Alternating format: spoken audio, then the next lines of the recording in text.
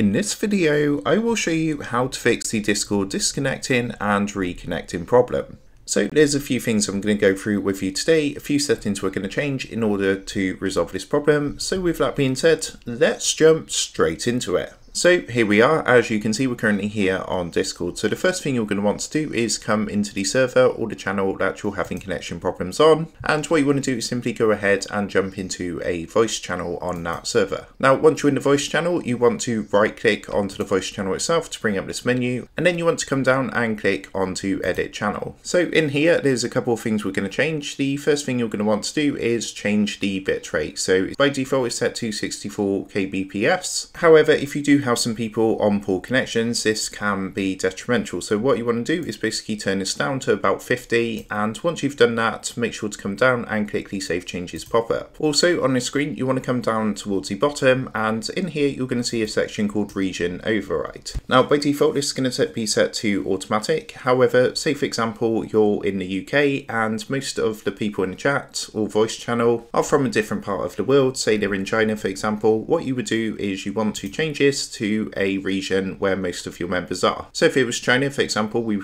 could go ahead and select Hong Kong and again, any changes you make, be sure to come down and click the Save Changes button at the bottom. So once we've done that, we can go ahead and close this window down. And what we're going to do now is come down to the bottom left hand corner and click onto this gear icon to go into our user settings. Now from here, you want to come to this menu on the left hand side and locate the voice and video option, which is underneath the app settings section. So just click onto this. In here, what you want to do is just scroll down slightly on the settings until you get to this option that says about quality of service, enable quality of service, high packet priority. Now, if this is turned on, what you're going to want to do is actually disable this. And also what you want to do is come down to the section about audio subsystem and click onto this and change it to legacy. On the pop-up that comes up, make sure to go ahead and click OK. What it's going to do is quit and relaunch Discord to apply your changes. So once we've done that, what we can do is come out of Discord. So you want to close down Discord. And now what we're going to do is change some settings on our PC or laptop to further resolve this problem. So the first thing you're going to want to do from your desktop is come down to the bottom left hand corner and type CMD into the search box. At this point you want to right click onto command prompt underneath best match and make sure to run this as administrator. So what that's going to do is open up the command prompt and you want to type the following command into here. So you want to put ip config just like so. Then you want to put a space and then a forward slash and then put flush DNS and then press enter.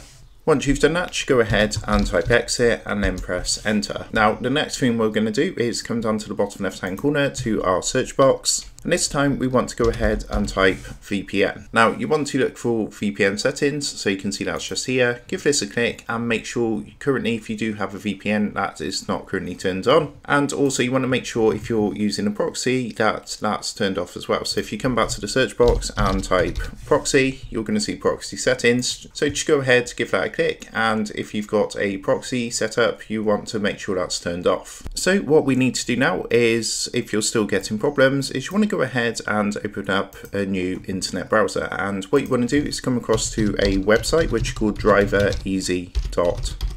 Now, what this does, it basically checks for any drivers that are not currently updated, out, out of date drivers, which can potentially cause connection issues with Discord. Now, what you want to do when you come here is click onto the green download now button here. And this is completely free. You don't have to pay for this. There is a paid option available, but there is also a free option. So you just want to go ahead and install that onto your PC.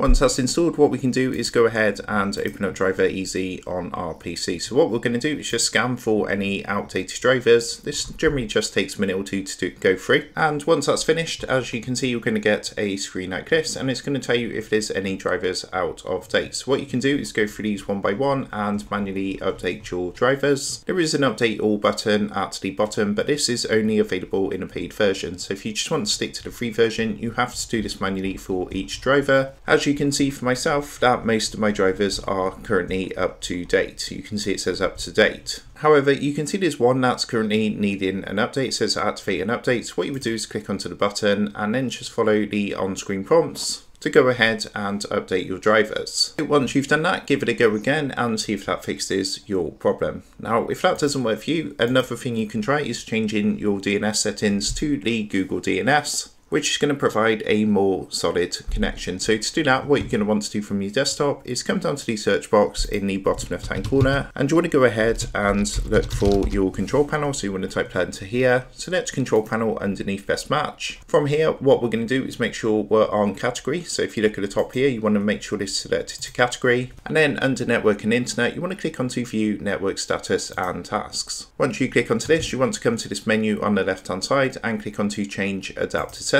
Then what you're going to do is locate your internet connection. So you can see mine's over here, right click onto this and then come down and click onto properties. So what that's going to do is bring up a window like this. And from here you want to look for internet protocol version 4 so you can see that's here. Give that a click and then come down and click onto properties now in this window, you want to come down to the second section down here and it should be set to obtain DNS server address automatically. What you want to do is click onto the icon underneath, which says use the following DNS server addresses. And what you want to do is type the following, which is 8, 8, 8, 8. And in alternative DNS server, you want to put 8, 8, 4, 4. Once that's done, go ahead, click OK and come out of this. You can close this all down. And the final thing we want to check is our firewall settings.